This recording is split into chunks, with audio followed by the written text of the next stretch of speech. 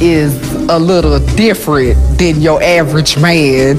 He can levitate off the ground. That is very special.